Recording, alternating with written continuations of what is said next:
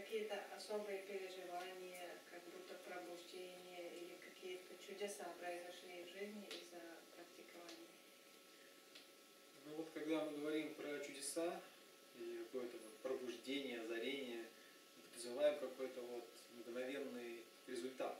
Вот раз, какое-то чудо, и воды расступились, там, да, или еще что-то. Такого у меня не было, я к такому, честно говоря, никогда и не стремился. Для меня э, чудом является то, э, что происходило на протяжении многих лет. Это постепенное какое-то, еле заметное, но изменение в образе э, мышления, в образе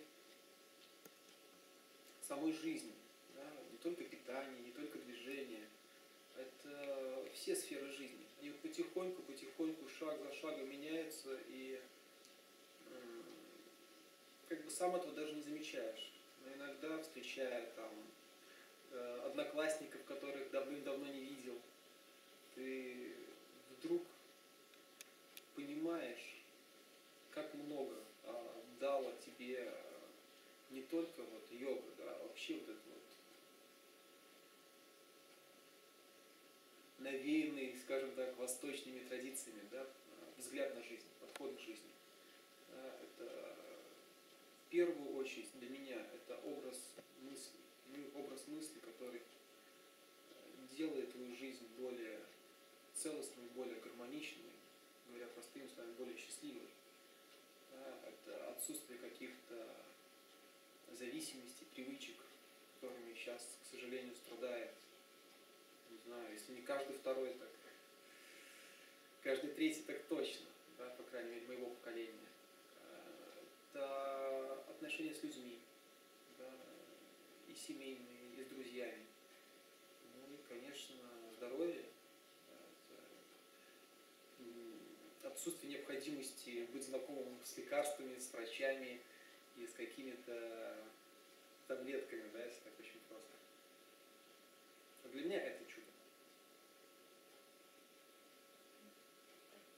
Еще по тонким энергиям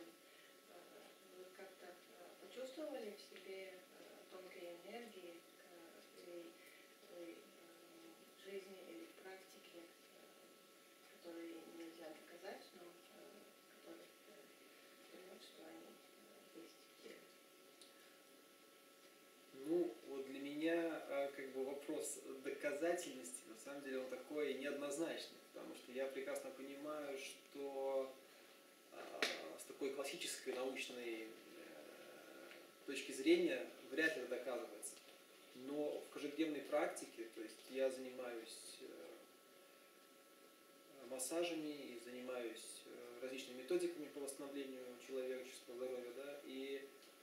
день ты с этим сталкиваешься. Любой человек, э, придя с болью вот, на сеанс к человеку, практикующему эти вещи, он может убедиться сам, на себе, насколько это работает. Да, поэтому для меня это вещи вполне доказуемые, субъективно доказуемые. И это вещи абсолютно реально существующие. Это вещи, с которыми, как вы правильно говорите, работаешь каждый день многими людьми. И не был бы массаж, не были бы эти процедуры настолько эффективны, если бы не существовали какие-то вот, тонкие вещи. Вот. А другое дело, насколько сознательно человек может ими владеть, может ими пользоваться. Вот это уже приходит с опытом, это приходит со знанием, и каждый человек уже использует в той сфере, в которой, э, которая для него наиболее актуальна.